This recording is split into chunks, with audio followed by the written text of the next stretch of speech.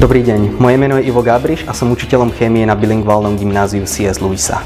V tomto experimente vám ukážem reakciu medzi kyselinou chlorovodíkovou, ktorú som si už pripravil dopredu. Jedná sa, jedná sa o jednomolárnu kyselinu chlorovodíkovú spolu s horčíkom. Pri tejto reakcii nám vzniká plynný vodík a chlorid, chlorid horečnatý. Takže, prvé, čo si musíme urobiť, je presypať horčík do balóna.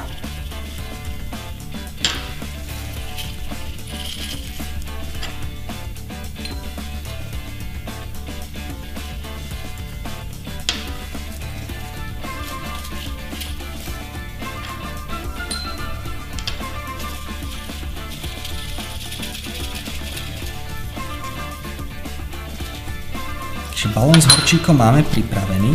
Ja ho následne nasadím na túto Erlenmeyerovú banku, ale ešte predtým si do nej vlejeme kyselinu chlorovodíkovú.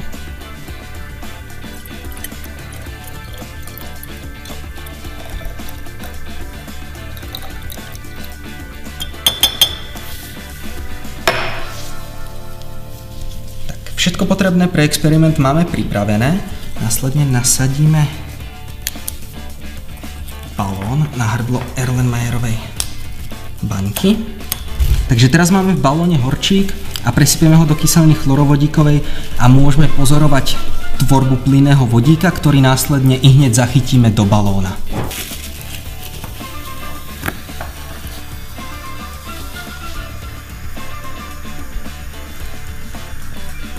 Môžeme pozorovať, ako horčík reaguje s kyselinou chlorovodíkovou, vyvíja sa nám plynný vodík a ako druhý produkt nám vzniká chlorid horečnatý. Teraz chvíľku necháme, nech sa nám balónik naplní plynným vodíkom a my si ho potom zapálime. Takže teraz máme pripravený vodík, ktorý máme v balóne. V hrdle Erlenmeyerovej banky bola, bolo trochu vzduchu, to znamená, že v balóne máme aj trochu kyslíku. A práve vodík spolu s kyslíkom tvoria výbušnú zmes. Takže v tomto momente sa pokúsim zapáliť zmes vodíka spolu.